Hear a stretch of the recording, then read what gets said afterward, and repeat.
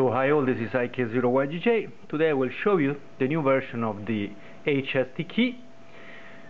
This is the classical HST key with only one lever, with only one, one integer lever. As you can see the lever is completely one piece from there to there.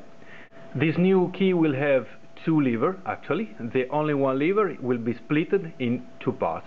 Actually they are three parts because there is the main lever and then the other two levers that make the contacts.